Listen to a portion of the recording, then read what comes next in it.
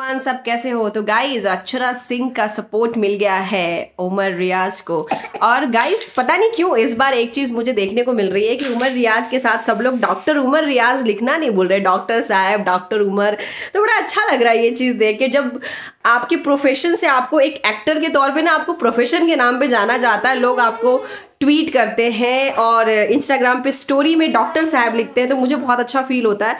Because specially for Umar Riaz because he is a surgeon और एक बहुत कलाकार बनने वाले हैं, उमदा कलाकार बनने वाले, उनका पहला स्टीजर आ गया है सॉन्ग आने वाला है तो मैं तो बहुत ही ज़्यादा हैप्पी हूँ, बहुत ही ज़्यादा खुश हूँ। और जिस तरीके से लोग उनको प्रोफेशंस के लेकर उनको मोटिवेट कर रहे हैं, उनको कॉन्फिडेंस दे रहे हैं बिकॉज़ डॉक्टर साहब एक ऐसा वर्ड है जो बिग बॉस हाउस ने उनको डीमोटिवेट किया है।